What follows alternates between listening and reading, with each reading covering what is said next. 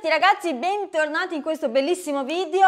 Non mi si vede oggi perché sono piccola in confronto a questa enorme scatola che a breve dobbiamo aprire. Ovvero oggi parliamo di robot aspirapolvere, pulisce, lava, fa tutto, è letteralmente il tuo alleato di tutti i giorni. Noi, se vi ricordate molto bene, avevamo già provato il fratellino minore del Roborock. In questo caso adesso vedremo se il Curevo Pro, ovvero questo qui, porta qualcosa di aggiuntivo, qualcosa in più, qualcosa che proprio mi fa dire è lui, basta, devo prendere soltanto lui. Beh, allora esteticamente non ha, diciamo, nulla di diverso, ripeto, rispetto al fratello minore, però questa è soltanto la prima impressione perché in realtà a livello puramente tecnico il Curevo Pro in realtà ha uh, delle funzionalità totalmente diverse che, ripeto, lo rendono molto molto più figo. Infatti la prima differenza la vediamo proprio nella parte inferiore, ovviamente adesso dovremo andare a installare il tutto, però qui in realtà c'è un braccio estendibile che è una cosa molto molto importante, soprattutto per chi come me è fissato con la pulizia, ovvero il fatto che i robot tendenzialmente non riescono ad andare nelle zone più specifiche, soprattutto dove ci sono gli angoli.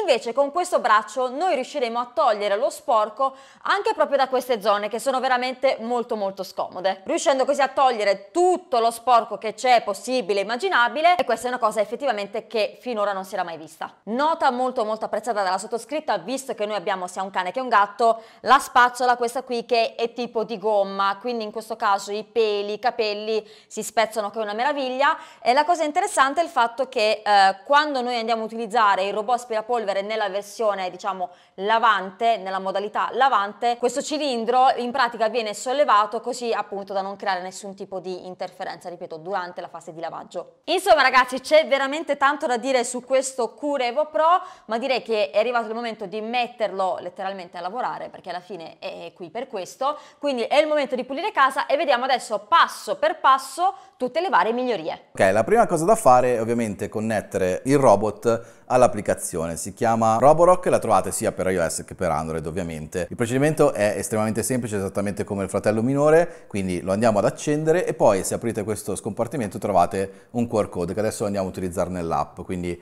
facciamo più e da qui andiamo a inquadrare il QR code. Una volta inquadrato ci dice infatti di premere contemporaneamente i due tasti posti qui sopra per 3 secondi finché non si sente un suono dedicato.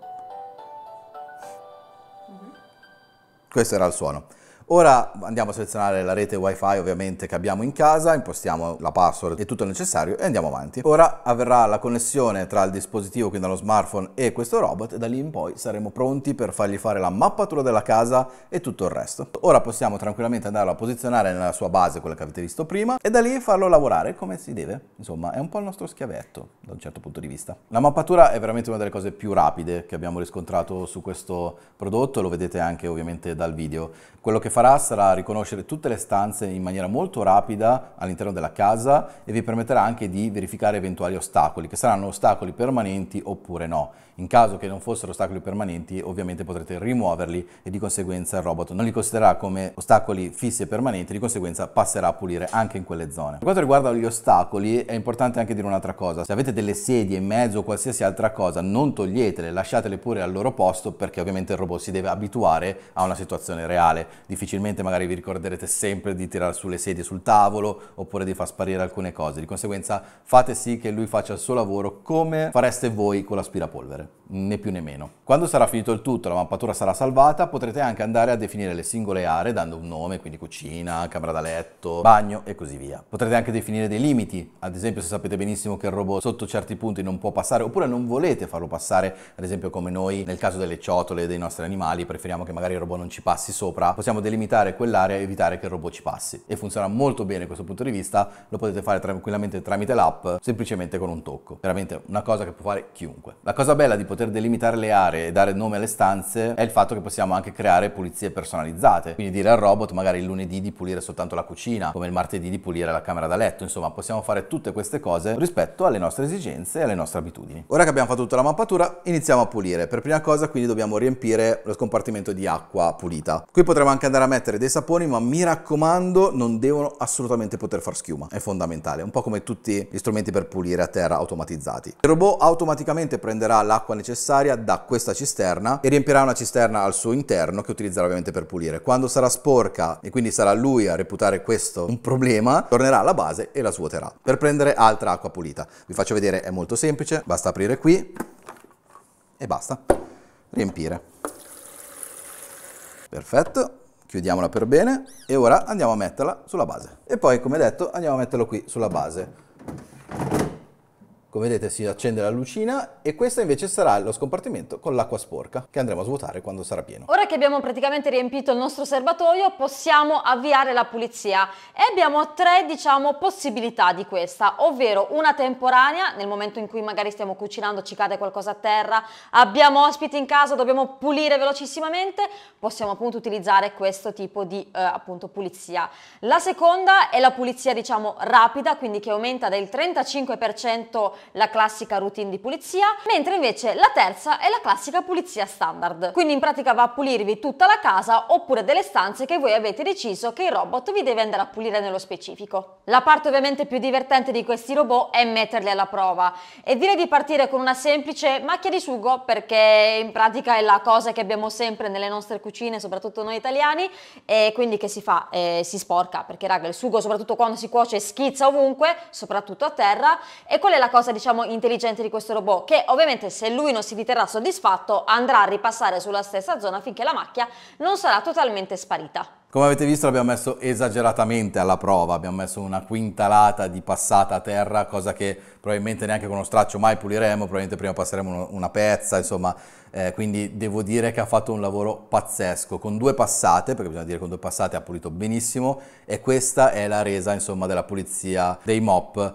eh, quindi come vedete pulito, praticamente asciutto, ci sono un po' di residui sui lati, ma semplicemente perché è veramente tanto sugo, cosa non normale. Quindi per noi veramente ha fatto un lavoro impressionante, non ci saremmo mai aspettati una cosa del genere il suo fratello minore non avrebbe fatto questo. Una miglioria sicuramente apportata rispetto ai precedenti modelli di questo tipo di prodotto è il fatto che eh, in questo caso non solo c'è un miglior riconoscimento degli ostacoli ma soprattutto degli specchi, infatti capitava molto spesso che il robot non riconosceva se stesso nello specchio come magari capita nei cuccioli di canne, si può dire questa cosa si può dire regia? Ok, grazie.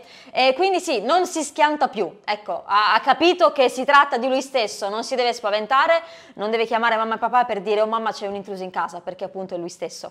Quindi appunto come detto offre delle ottime prestazioni e riesce a trovare in autonomia delle ottime soluzioni per pulire al meglio la nostra casa. Come già detto e ribadito, ogni volta che il robot penserà di avere l'acqua sporca o di essere pieno, insomma, che ha bisogno di tornare alla base, lo farà e svuoterà tutto il necessario. Ora però vi voglio spiegare bene qual è la differenza anche con i predecessori, perché le modifiche che sono state effettuate dal nostro punto di vista sono molto importanti. Svuoterà sicuramente quelle che sono le polveri o comunque quello che avrà aspirato, svuoterà anche lo scompartimento dell'acqua sporca sostituendolo con quella pulita, ma l'aggiunta che vi dicevo prima è importante proprio per quanto riguarda le spazzole, ovvero quelle che vi faccio vedere ora. Queste infatti sono state un po' le colpevoli sempre di cattivi odori o comunque di poca igiene, perché si andavano a sporcare e poi dovevamo pulirle manualmente o comunque con acqua fredda. Ora quello che succede è che una volta tornata alla base, queste spazzole vengono pulite con acqua a 60 gradi, il che è già molto interessante, vengono quindi quasi anche igienizzate.